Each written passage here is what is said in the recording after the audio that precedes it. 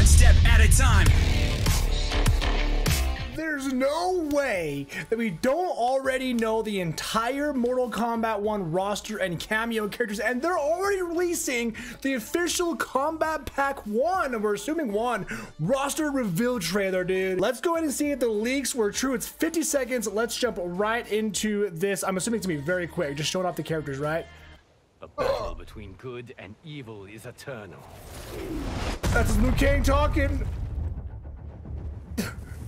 No way! No, they're not. They're actually doing Omni Man. Shut the fuck. Shut. Shut up. Looks awesome.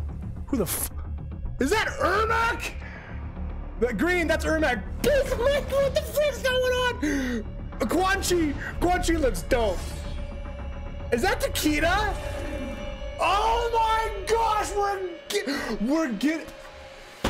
We're getting hold go so hold that roll that back roll back roll, hold on oh, oh my gosh dude take a mental picture right now in one Kombat Pack we're getting Quan Chi Ermac I'm assuming that's Takeda I'm 99% sure that's Takeda Omni-Man Homelander, Peacemaker. What is this game? I don't even know how to actually react. I don't even know how to actually talk about this because Ermac. All right, let's make it quick. Omni-Man looks awesome. How do you mess that up? Homelander, it looks like he's literally in the game. He he looks beautiful. Same with Peacemaker, look phenomenal. Takeda, I, whoa, I'm astounded and astonished by the armor, the look, the mask looks awesome. Quan Chi is just basic Quan Chi, looking dope as ever.